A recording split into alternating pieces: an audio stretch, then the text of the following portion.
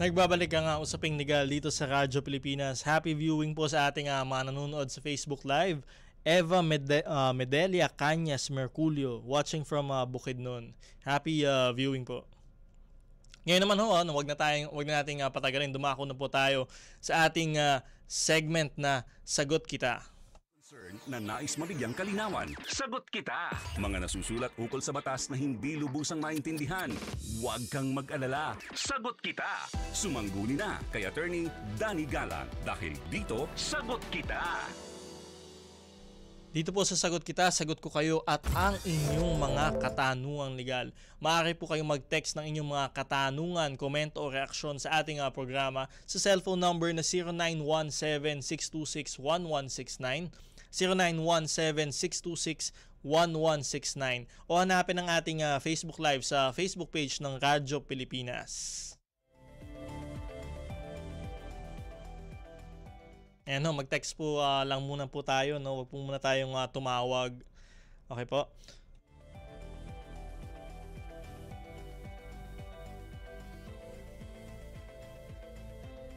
First question po natin coming from um, uh, Anonymous. Attorney, yung uh, asawa ko nangaliwa tapos nabuntis po siya. Ano po ang gagawin ng lalaki? Ngayon ho, no, uh, tiyatalakay ho natin itong uh, mga ganitong uh, topic ho, no, dun sa ating mga previous uh, episodes po ng Usaping Legal. Meron ho uh, tayong tiyatawag na kasong adultery at concubinage. Sa ilalim ho yan ng uh, revised penal code.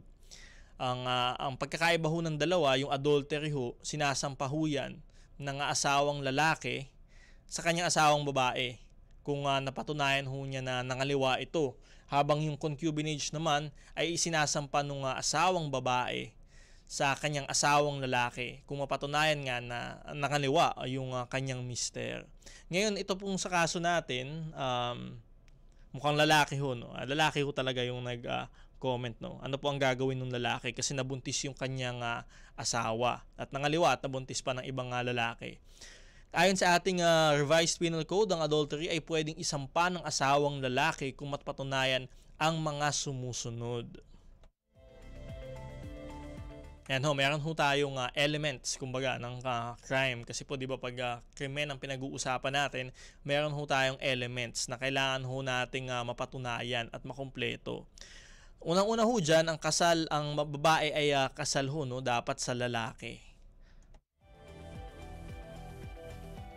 So, ibig sabihin ho, kung hindi ho kayo kasal at kayo ay uh, mag-live-in partner lamang, ay hindi ho kayo makakapagkaso ng adultery doon sa inyong asawang uh, babae. Kailangan ho, kasal ho kayo. Talagang meron kayong uh, papeles na para mapatunayan ho yan.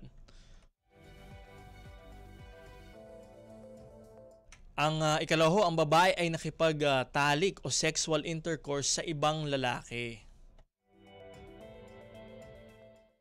Yan ho yung uh, yan ho yung pinaka heart nung uh, nung uh, krimen ho no syempre dapat nakapag uh, sexual intercourse o nakipagtalik yung uh, babae sa ibang lalaki na hindi niya asawa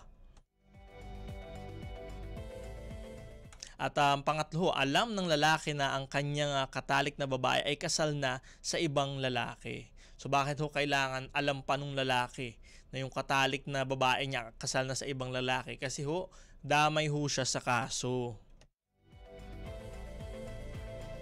So hindi lang ho yung asawang babae yung uh, maari ninyong kasuhan, maging yung uh, lalaki ho syempre no na uh, nakipagtalik po doon sa inyong asawa.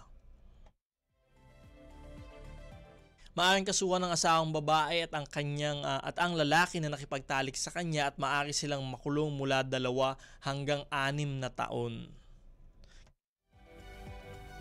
Kaya ho yung adultery, kasong kriminal ho yan. Ha? So meron ho yan kulong mula dalawa hanggang anim na taon, 2 to 6 years po. So matagal-tagal ho yan sa bilangguan. At uh, syempre ho, alam niyo naman ho yung mga sitwasyon ng uh, mga bilangguan ho natin. No? So hindi niyo ho gugustuhin uh, uh, makulong kahit isang araw lang, 'di ba? Itong adultery, dalawa hanggang anim na taon, 2 to 6 years ho. Kaya konting ingat ho tayo, 'di ba, sa ating mga ginagawa. Yan, tandaan ho natin na yung uh, sa parehong kaso ho ng adultery at concubinage, tanging ang asawa lamang ang pwedeng mag-file ng kaso at hindi ang kanyang magulang, anak o iba pang mga kamag-anak. Yan ho, yung asawa lang ho talaga ha, ang pwedeng uh, magkaso ho dito. Hindi po pwede yung, mga, yung uh, magulang ng uh, lalaki o babae o yung mga ibang kamag-anak. Yung talagang asawa lang ho ang pwedeng uh, magsampa nung kaso. At uh, syempre, oh, kailangan din na isama sa kaso ang parehong asawa at kabit nito kung sila ay uh, buhay pa. At kahit na napatawad na ng asawa ang sino man sa mga partido na nagkasala. Kasi ho, minsan, di ba, yung uh, babae, ito dito sa kaso natin, no, yung uh, babae gustong patawarin na nung kanyang asawang lalaki.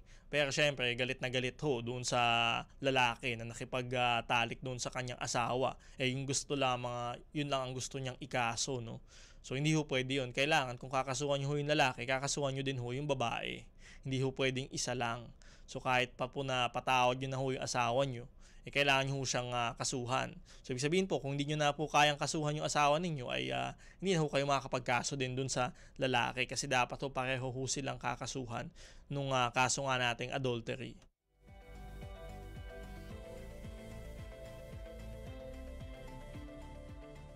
Yan ho, uh, mas ma uh, gaan nga ho no, yung sinasabi natin na uh, penalty dito sa adultery. So, uh, o mas mabigat ho, no? Kasi 2 to 6 years ho ito. So, hindi ko katulad doon sa uh, sinasabi naman natin kung concubinage ho, no?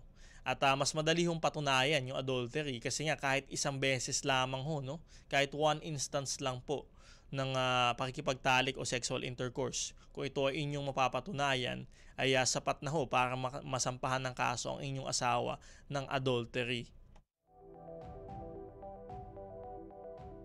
Hindi ho katulad dun sa concubinage. Kasi sa concubinage ho, yung ikakaso natin dun sa lalaki, kailangan hindi lamang siya basta-basta nakipagtalik no o sexual intercourse.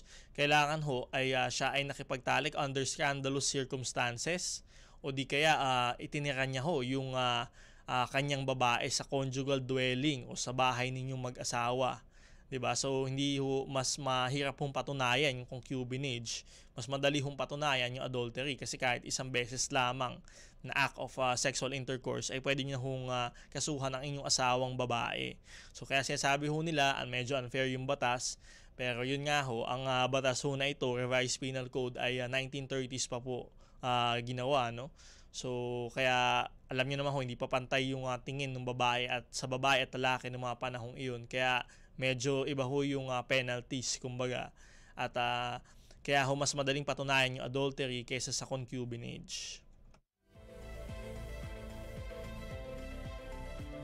Yan po, kung gusto nyo pa pong uh, matuto dun sa usaping uh, adultery at concubinage, naka-upload ho yung mga videos natin tungkol dyan sa ating uh, YouTube channel, Attorney Danny Galang.